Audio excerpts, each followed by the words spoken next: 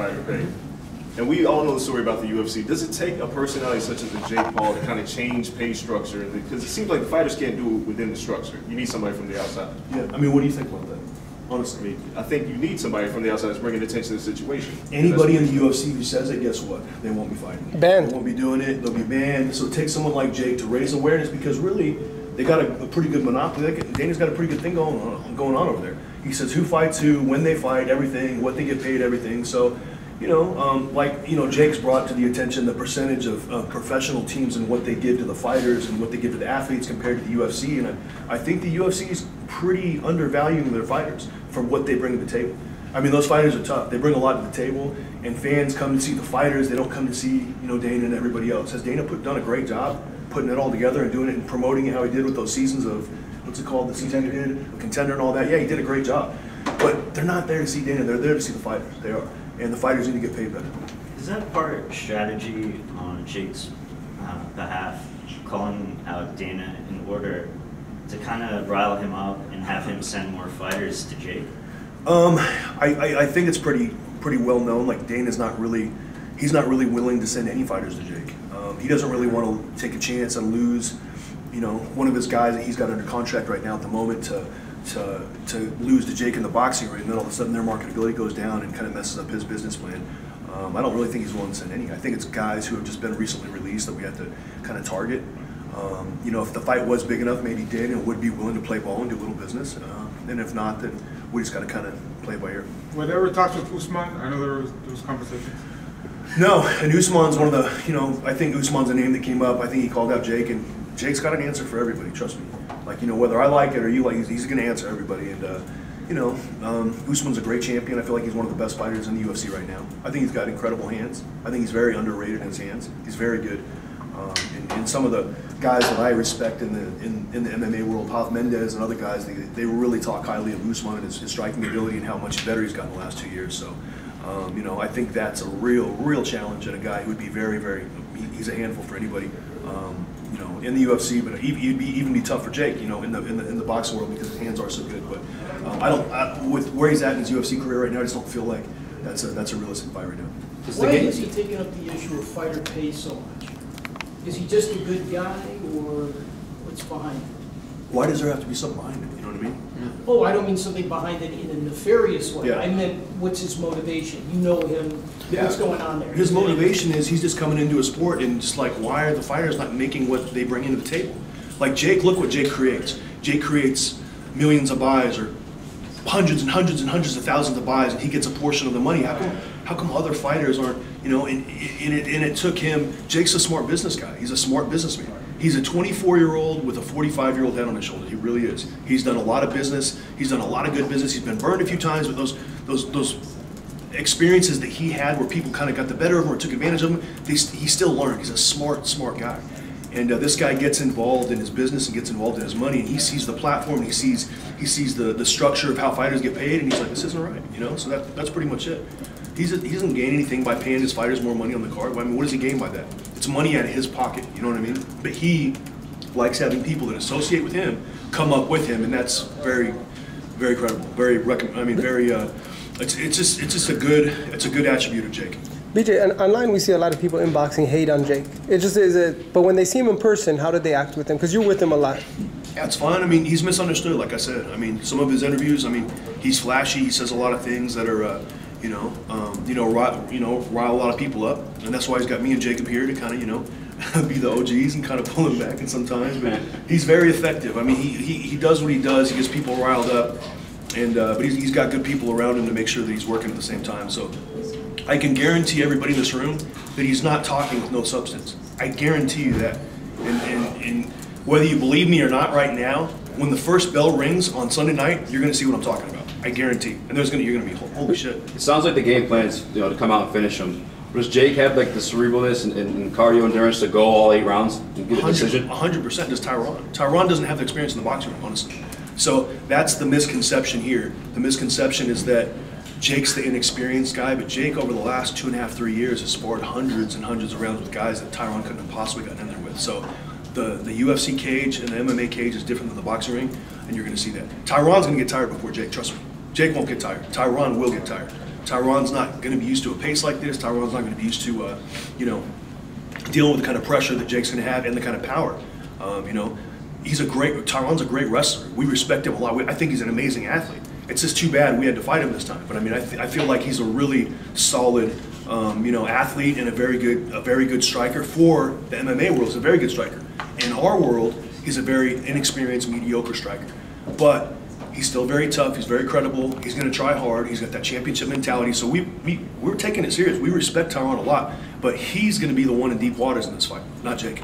BJ, Jacob, who's the one guy you think that uh, Jake Paul gets under his skin the most? Because he rattles a lot of people, but who's the one person you, who stands out to you? It's a tie between about ten people, bro. 13 man tie. Can you, is, so who's the top I don't top two, top three? You guys tell me. I don't know who gets. I don't know. He gets Dana White's I number say one. Yeah. I mean, but what's what's not true about what he's saying about Dana though? yeah.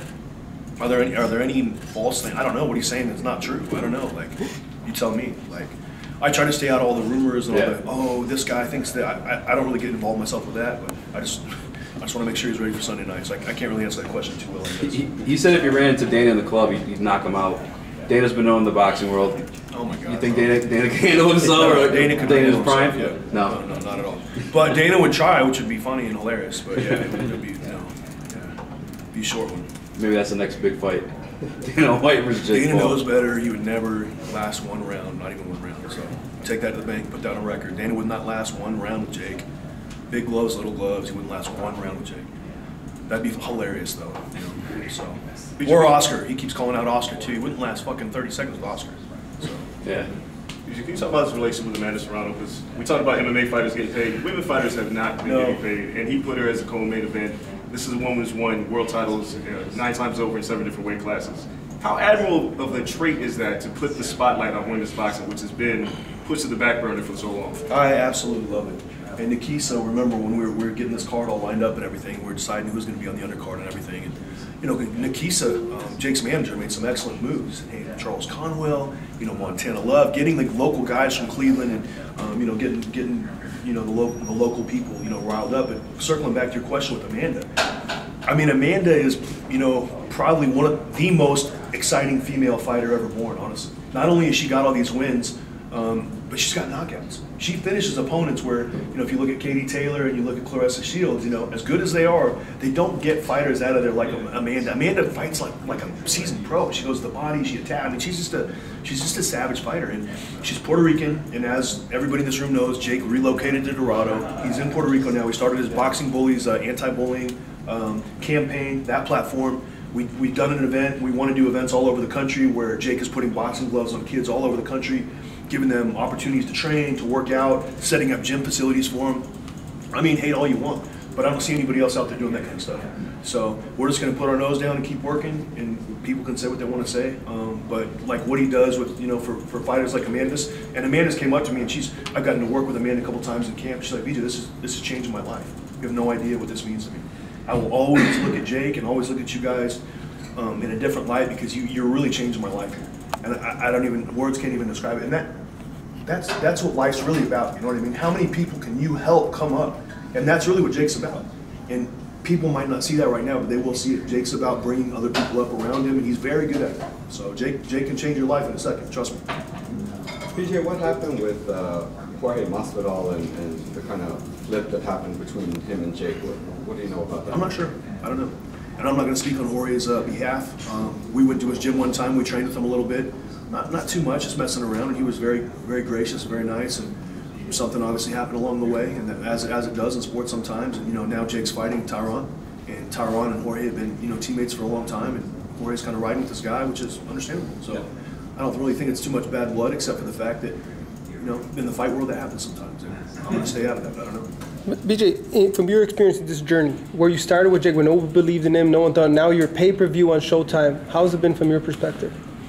I told him when I when I first went to Big Bear, they called me in December 19th to go in as a sparring partner for the Gib fight, and uh, you know, it was kind of crazy. I, I, I didn't really know who he was, and once I went into camp with him and sparred with him, I always like sparring with somebody to, to feel like what they do well, and you know, I was I was you know, three and a half, four years removed from a world title fight. I, I was I wasn't in great shape, but at the same time, I still for a couple rounds I was I was a handful for anybody.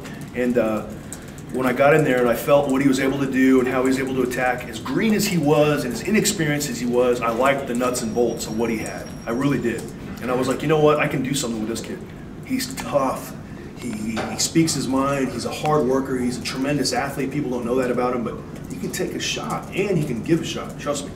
And this was, you know, this was two years ago. Um, I just feel like I, I saw a lot of potential then. I saw a lot of possibility, and once we started cleaning up some of the basic mistakes he was making, he really started transitioning into a fighter who looked like he'd been fighting a lot longer than he has. Um, he's got a tremendous team around him. I'm not even talking about myself. I'm talking about all around the board. Uh, Jacob Chavez, Jalen Love, um, his, his assistant Marcos, his strength and conditioning coach. The chef, Cut, yeah, By- Chef Byron, uh, Jalen, like I said, uh, uh, Ocean Interbeing, the, the guy who does all his, his, his healing and his his, uh, his massages and everything. I mean, there's so many components to, to this great team, and he's got a good team around him. So I'm not surprised, to be honest with you. Um, but to be in his second eight-round fight on a Showtime pay-per-view on a platform as large as Showtime, I mean, it's incredible. I mean, when has that ever been done? In a fourth fight, I, In a fourth fight in an eight-round fight, I mean, that alone is credible right there. Most guys are still fighting four rounders. Much less six rounders now. His second eight-rounder already when it's three zero. That's that's he's working his ass off. So got to give him credit. So you did get hit by Jake. it's sparring. Yeah, about, yeah, about, about two years ago. Yeah, he took a couple himself, but uh, I definitely got hit a couple times. Yeah. What'd you make of yesterday's events between uh, Mama Woodley and, and D Cut and all that? I think what was the conversations had afterward? I think it got blown out of proportion. Um, you know, the, the thing about it is, and you got to respect, um, you got to respect Woodley's team, which I do, and you got to respect our team, which it didn't seem like there was a lot of that going on. Um, which whatever, you know, we're, we're, we're the OGs. We're not we're not worried about it. They got to fight on Sunday. But you got to realize when it's three days before the fight, and both teams' families and best friends are in the crowd, and there's yelling stuff, and uh, you know, D cut hears something, the mom yells, the mom yells something. It's just it's easy to get things you know mixed up like that. And, and my my feeling is, whenever a mother is yelling for her son, just just let her yell whatever she's yelling, I, I- whatever it is. You know what I mean? Let her yell.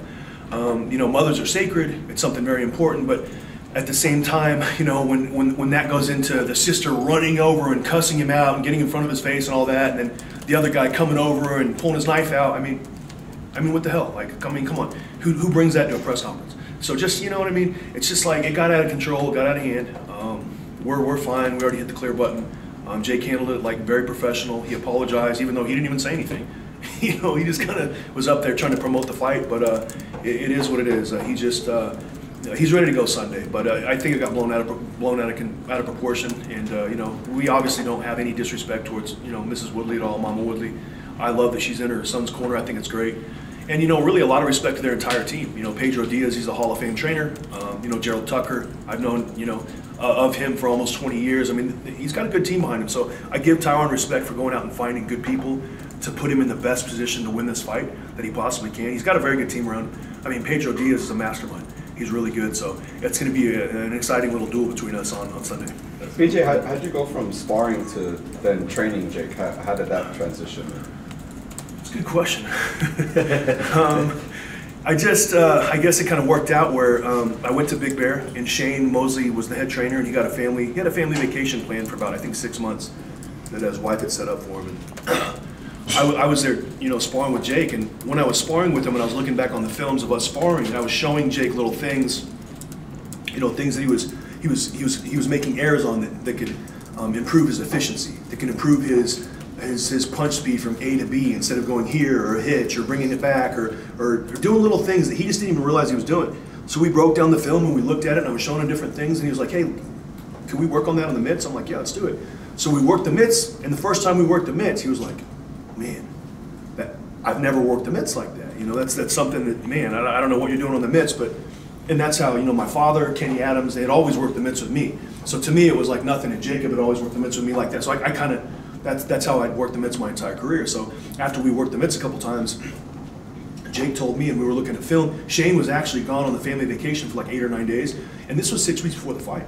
So you can't miss, you know, a week before, um, you know, um, you can't miss a week, six weeks before a fight. You can't miss a day. You can't miss a session.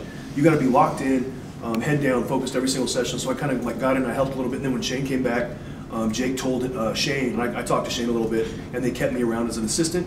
Um, to do the, do the mitt work, help break down film with Shane, and me and Shane kind of came up with a game plan with Gib, and we worked together, and it was just a, a massive honor to work with, you know, a Hall of Fame fighter and a great fighter like Shane Mosley, who, who really went out of his way to make Jake, uh, you know, um, make him feel comfortable and give him credibility, because Shane's, you know, one of the biggest names of boxing.